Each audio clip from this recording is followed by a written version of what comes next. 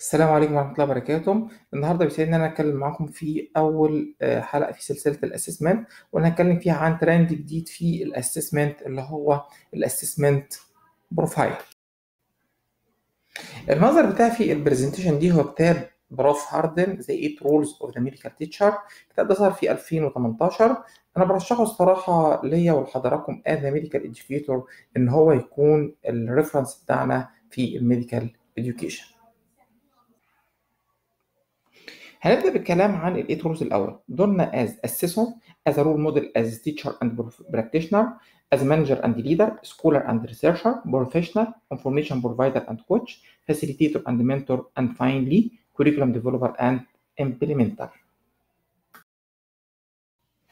هنتكلم دلوقتي عن ال profile اللي هو عبارة عن continuum الأحمر فيه اللي هو ال traditional والاخضر اللي هو the trend بنتحول فيه ال assessment من compartmentalized ل programmatic assessment من ivory tower إلى real world ومن time based assessment إلى outcome based or competency based assessment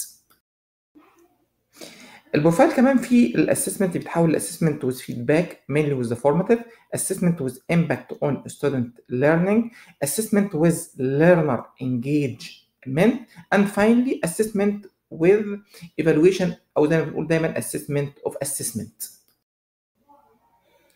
دي كانت مقدمة عن ال 8 roles وعن ال profile as a new trend in assessment. إن شاء الله في الفيديوهات القادمة هنتكلم عن كل جزئية في ال profile جزء بجزء في فيديو قصير برضه. شكرا جزيلا. نراكم على خير. السلام عليكم ورحمة الله وبركاته.